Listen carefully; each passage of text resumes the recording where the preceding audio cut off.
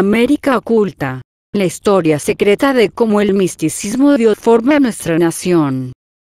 Estados Unidos ha proporcionado un terreno fértil para la espiritualidad alternativa, particularmente la forma conocida como culta, cuyos líderes estadounidenses, a diferencia de sus homólogos europeos más grandiosos, buscaron rehacer las ideas místicas como herramientas de bien público y autoayuda, dice Horowitz.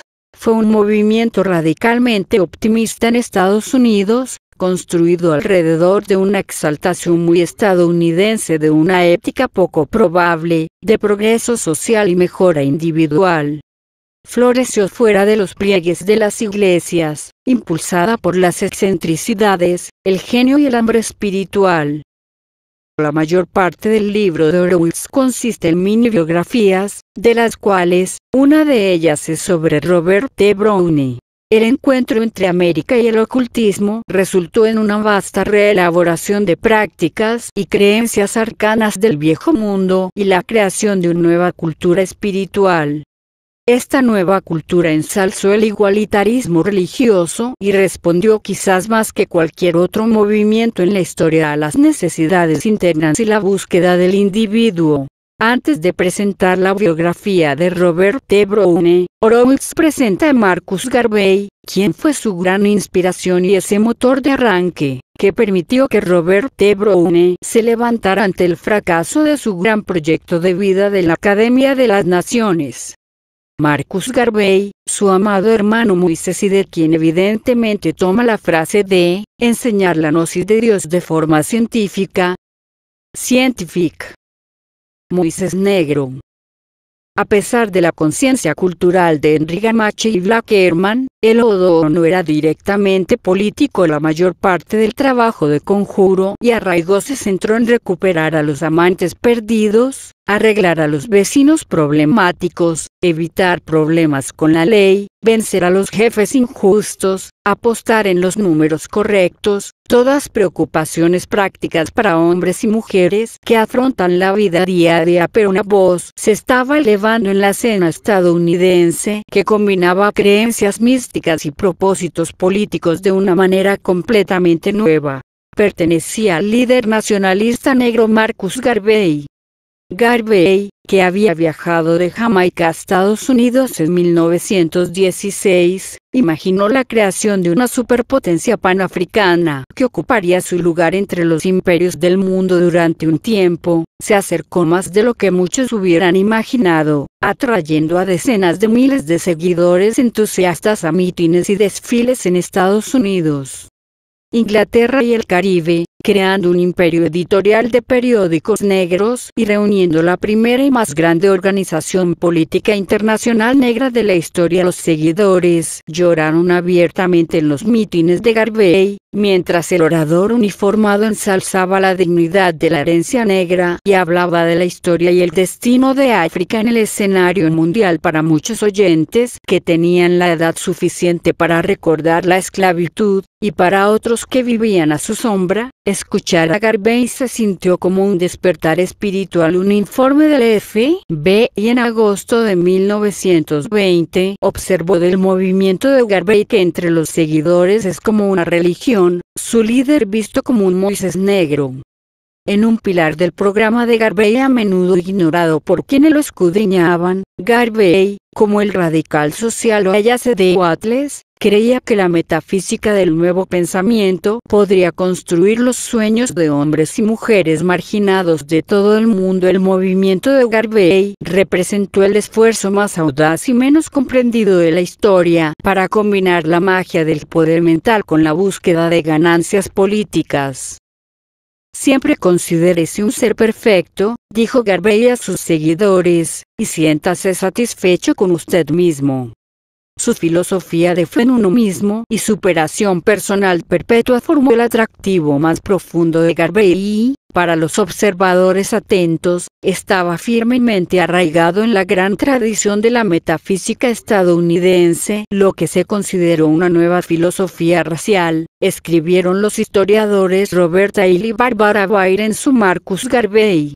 Life and Lessons, fue de hecho la aplicación total de Garvey de la dinámica del nuevo pensamiento a la condición negra, la metafísica y la política estaban explícitamente vinculadas en la mente de Garvey.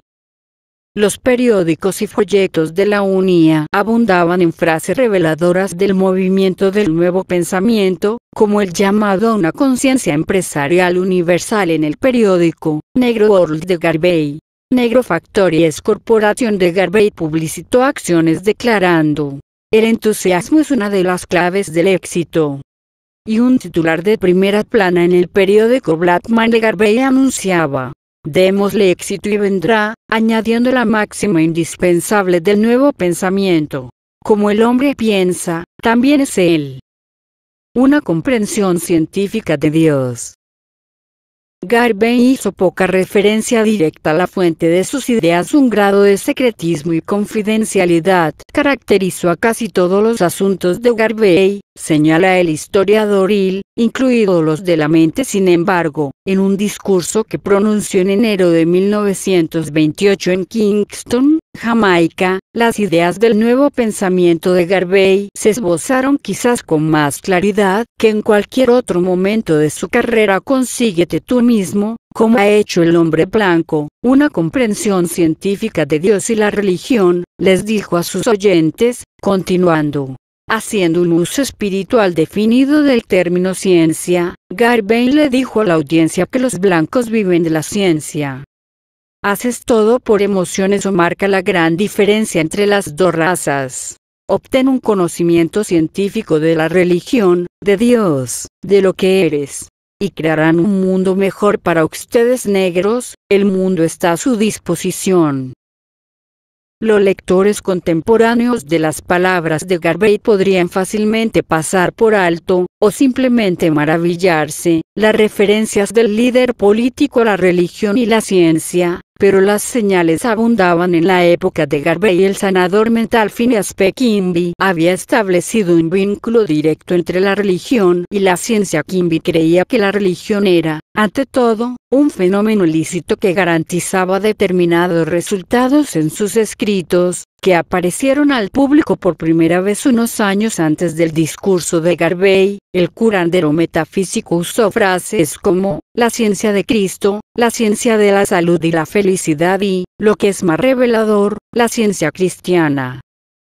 Círculo 7 Corán los usos mágicos de la ciencia no se limitaron a las Indias occidentales o Garvey. De hecho, el hombre que se autodenominó como el sucesor estadounidense de Garvey utilizó una filosofía de la ciencia mística para formar la base de uno de los movimientos religiosos del centro de la ciudad más seductores e influyentes del siglo XX, el Templo de la Ciencia Morisca fundado en Newark, Nueva Jersey, en 1913 y trasladado a Chicago a principios de la década de 1920, el movimiento fue dirigido por un misterioso caroliniano llamado Timothy Drew, conocido por sus seguidores como Noble Drewali. Si bien Noble Drewali a menudo invocaba a y al Islam, o islamismo, como él lo llamaba a veces, casi no tenía vínculos ni traficaba con la fe real de Mahoma más bien. La ciencia morisca era una religión misteriosa del centro de la ciudad estadounidense construida sobre el nuevo pensamiento, la masonería, la teosofía y el ocultismo. El matrimonio de noble Drewal y de temas garbellistas con ritos y símbolos esotéricos ayudó a responder a los anhelos de poder económico, cultural y político que se sentían en las ciudades a las que los descendientes de esclavos habían comenzado a emigrar.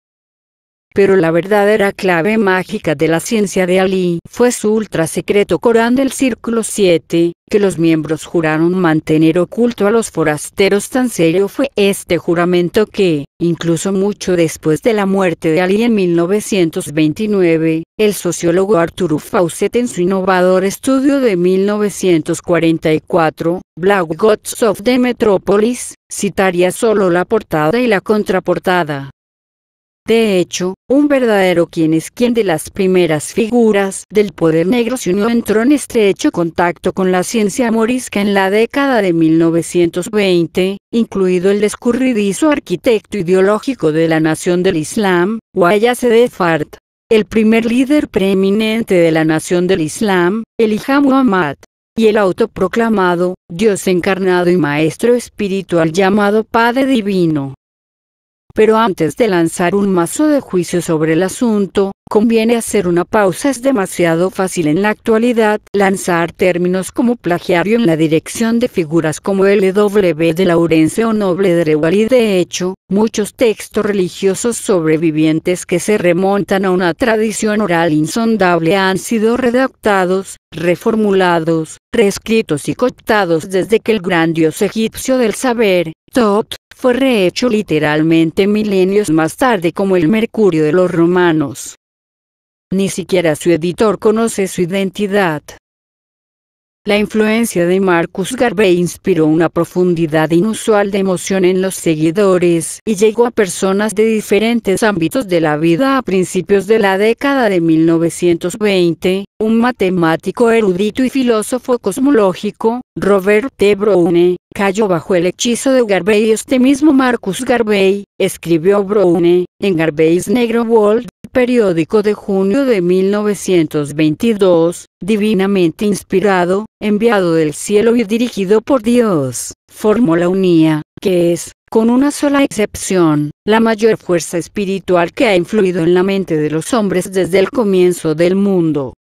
Para Browne, la única fuerza más grande que la organización de Garvey era la religión de Jesucristo, pero este no era un creyente con ojos de estrella en el Evangelio de Garvey Brown era una figura digna de un elogio dado con demasiada frecuencia pero, en su caso, merecido de forma única. Un hombre adelantado a su tiempo fue uno de los primeros filósofos esotéricos negros de la nación y una persona cuya vida tocaría y cambiaría la suerte de las personas que lo rodeaban.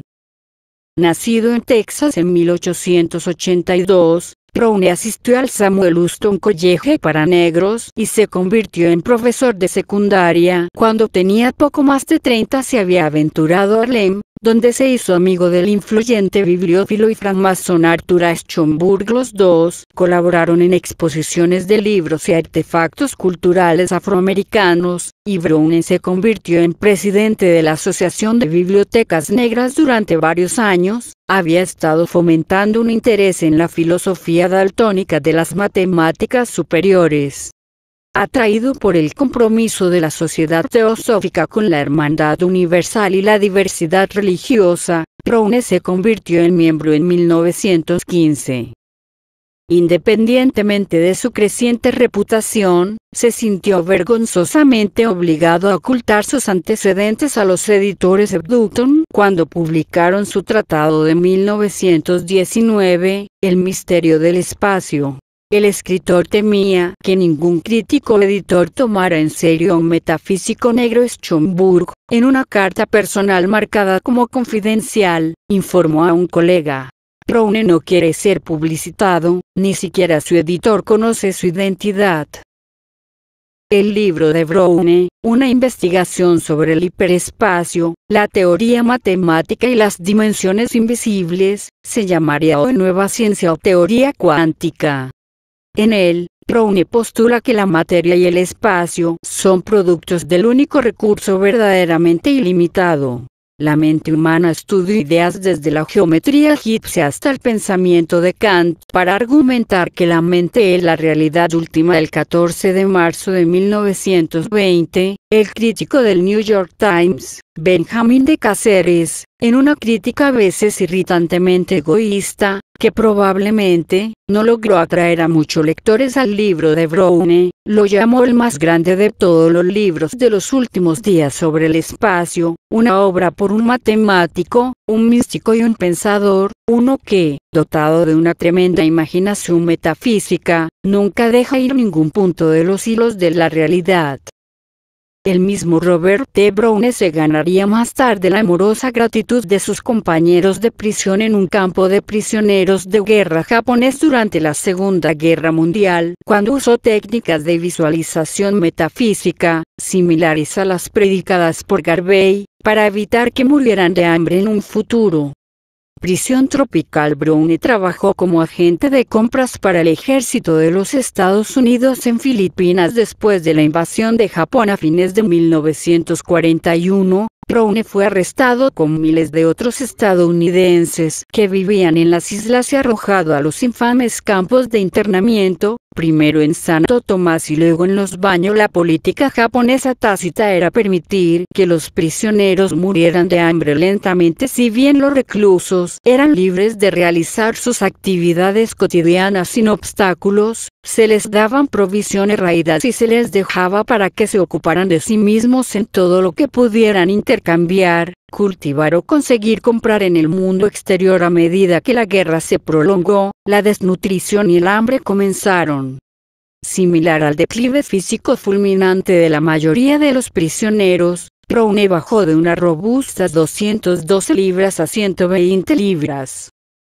Para todos, la comida se convirtió en una obsesión, y Browne buscó ayudar a sus compañeros de prisión con la única herramienta que tenía para ofrecer entrenamiento en técnicas de poder mental y otros métodos cristianos esotéricos. Ve a la naranja y pruébela, enseñó Browne sienta cómo sus nutrientes entran en su cuerpo y lo hacen más fuerte. Instruyó a los internos para que recopilaran recetas donde pudieran encontrarlas y para que se concentraran en los ingredientes individuales, utilizando su mente como una fuerza nutritiva. Según el historiador Christopher Paul Moore en su notable recuperación de la historia de Brown en Fighting for America, Black Soldiers, de un sunero Sofordoar II, el filósofo místico se convirtió en el héroe de la prisión más improbable. Aunque Browne había editado brevemente uno de los periódicos de Garvey, era en gran parte desconocido en la prensa blanca o negra, pero siguió siendo un hombre en movimiento en 1950. Él y su esposa, Cecilia, fundaron la Sociedad Hermética para el Servicio Mundial, una orden religiosa de influencia teosófica que reclamaba la guía de los mismos maestros que habían enseñado a Blavatsky y Olcott, Browne murió en 1978, pero su sociedad hermética todavía tiene miembros en los Estados Unidos y América Latina. Tiene su sede en la República Dominicana, donde Browne había establecido una sucursal en 1970. En primer lugar, en la declaración de fundación de la Orden, Browne pidió la protección de América, designado como el grial en el que se manifestará la gran luz cósmica, que está destinada a iluminar al mundo entero. Nuestra amada América, escribió Browne, es la futura tierra santa de la que surgiría la iluminación mundial hasta el final. Robert T. Browne, un hombre nacido 90 años después del fin de la esclavitud, un místico cuyo trabajo cosmológico fue rápidamente celebrado y olvidado con la misma rapidez, seguía defendiendo su visión de América, una tierra dura y mágica llena de con esperanza ilimitada. El verdadero saber hacer. En los años que siguieron a la Primera Guerra Mundial, cuando la teosofía y el nuevo pensamiento habían dirigido una nueva atención a la filosofía oculta y los secretos de las edades, un grupo de místicos autodenominados y eruditos con turbantes produjeron obras gruesas que pretendían descubrir doctrinas ocultas. Muchos eran asuntos de retazos, reunidos a partir de obras ocultas de la era del Renacimiento, tratados académicos sobre mitos y símbolos y guías de folclore. En medio de estas ofrendas olvidadas se encuentra un estudio que eludió las promesas vacías del día. Una guía virtuosa de filosofías antiguas y ocultas cuyo alcance y profundidad superó los fondos de muchas bibliotecas respetadas fue llamado por un título sin aliento un bosquejo enciclopédico de filosofía simbólica masónica, hermética, cabalística y rosicruciana, siendo una interpretación de las enseñanzas secretas ocultas dentro de los rituales, alegorías y misterios de las edades. O, como se le conoció más simplemente, las enseñanzas secretas de todas las edades. Venía de un profesor de clásicos jubilado, un anciano anticuario inglés, el libro podría haber sido menos sorprendente, aunque todavía impresionante pero no provino de tal fuente las enseñanzas secretas de todas las edades. Fue publicado en forma privada en 1928 por el erudito espiritual autodidacta Manly P. Hall, cuando tenía 27 años. Incluso una generación más tarde, la pregunta se reafirma en casi todas las páginas de las enseñanzas secretas. Como si un joven con poca educación tradicional produjo el libro más original y magistral del siglo pasado sobre la sabiduría esotérica de la antigüedad. Los maestros autoproclamados surgieron sin antecedentes, conocimientos o credenciales adecuados y se extendieron por todo el país señoras glamurosas con vestidos de noche de mil dólares, que agitaban abanicos de plumas de avestruz, enseñaban prosperidad a los pobres hambrientos a 25 dólares el curso, misteriosos swamis, yogis y similares cautivaron audiencias de 2 a 4 mil en una reunión.